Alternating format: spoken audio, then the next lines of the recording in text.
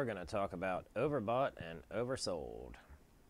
So, I've got the RSI pulled up here, and you'll see why I don't like using the RSI. All right. I prefer the percent R. So, most of the time, I'm probably going to use that instead of the RSI. Now, that doesn't mean that I didn't start off with the RSI. I did. But as you can see, this percent %R is slightly more reactive, but the RSI is more, let's say, let's say it's uh, widely available, you know, across all of the platforms. Okay. So our moving average strategy we have here. Now, this is just the out-of-the-box strategy. We have not built a strategy with this yet. So let's just ignore that for now. That was from a previous video, and we will continue with that. But for now, overbought and oversold, okay? So when the stock is oversold, you know, they're just selling way too much of it, okay? You know, after that period is done with, all right, people start buying it back up, and you get a confirmation of, uh, you know, price action. price goes up, and gets validated out.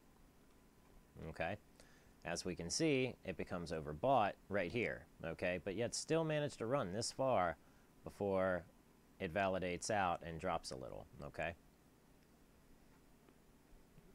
Now, this is the RSI, the Wilders RSI. Okay. And there's Wilders, there's Williams, there's all kinds of different people who have created uh, indicators, but uh, Wilders will be one that you might see a lot in the indicator world. Okay. An important name. Now, see, it gets uh, overbought here on the RSI up here. All right. And, you know, this RSI shows no real action there. Now pull this out to say like uh, the daily. That gives you uh, some okay readings, some, some good readings down here on the percent R. All right, but uh, let's say overbought, oversold, uh, and not, not real hard to see. Now, you can use your custom studies, but for now, stick to the ones that uh, Thinkorswim has. So let's see, percent R, you've got your Williams percent R, and there is also another percent R you may consider, or let's say RSI. Okay, Rocket RSI, SVE Stochastic RSI. Okay. Add that and apply. Now you get these neat arrows that when a stock becomes, you know, when its uh, period of being overbought or oversold is over. So look just behind the arrows and you can see the periods of overbought and oversold, okay? You know, if it dips below the 20 and above the 80, below the 20 is, you know, way oversold and above the 80 is way overbought and that does apply on the percent R, but I think for the Wilders RSI, it is 30 and 70. And that is the overbought and oversold. So as algorithmic traders, we can program for each one of these indicators, or, you know, and many others like it, to buy when the stock is oversold and sell you know, when it is uh, overbought. Or reaches a certain threshold, or you might even set up, say, a trailing stop loss that uh, trails your stock behind, just say $1 um, or $5. Yeah, that's possible. Now with Tesla, you would get hit out with that $5, but uh, if you did a $5 trailing stop on Apple, you'd be okay. Apple does not seem to move, you know, intraday, you know, that much like that.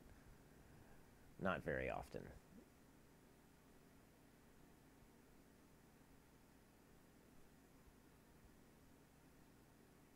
Let's see, here lately, Palantir has moved uh, very steadily as well.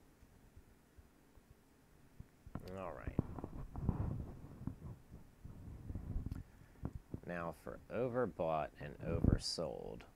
Now just for another example, we do have, and we'll just pull up the Aroon. Now I like the Aroon indicator. but it also has overbought at 75 and 30. You know, is, uh, yeah, yeah, but you get it. So here we go.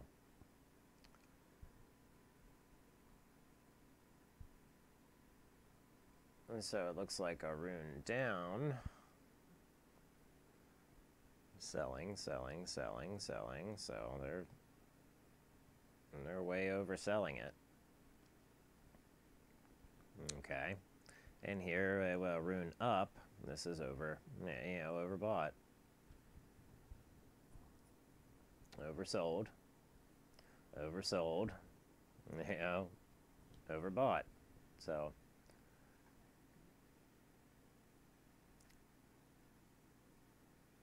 Although the way this indicator reads, you can see,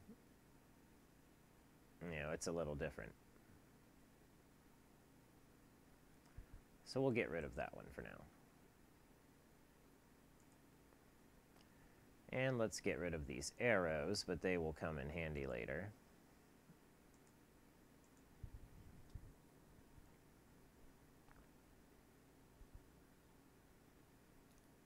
Okay. Now still not much of the move here. Let's check out that apple. Okay, now we can see Apple. Let's see, going down, going down, going down, going down. Okay, we get a little confirmation above our moving average here. Price starts to come up a little bit. Looks like we are trying to hold some sort of support. Okay. It is above the 300 moving average. And It still says it's sideways, though. But after having a... It's, it's had a little bit of a rundown from 145. You know, we hope for it to catch one of these channels that are long. You know, and I see how it caught this bottom channel here. Uh, you know, I guess that's just where it stopped, and that's the new channel. Okay, so we'll get into charting your channels and things like that, and uh, you know, yeah, we'll we'll get to that, but overall, your moving averages, and looking at uh, let's say here on the daily, you know, your RSI and your percent R, you know, being, you know, say overbought and oversold, okay.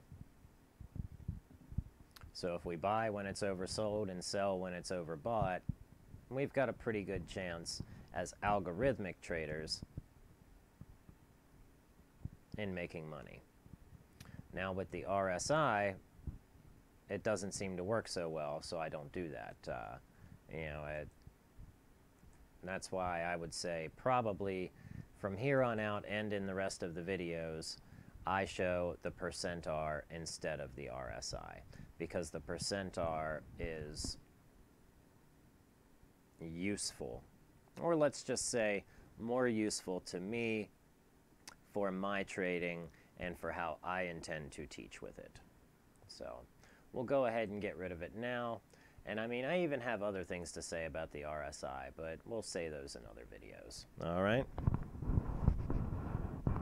So now we've changed over to a Renko bar setup, all right? Now you can see how this RSI can be used to make money, all right? Very good.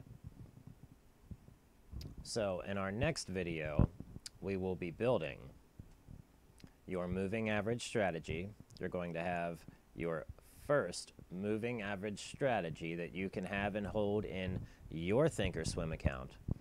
And this percent r strategy that you can have and hold in your Thinkorswim account.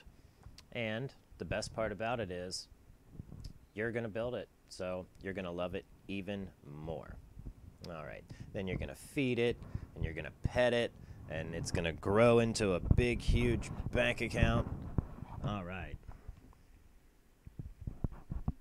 We will be living the dream.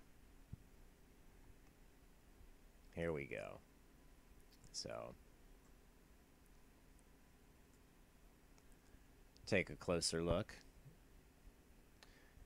And we can use our uh, percent R in conjunction with, okay, your confirmation and your validation signals. All right. So until the next video, make sure you subscribe, hit that like button, uh, come over to Patreon and support the channel and you know everything we have going on. And I will see you next time.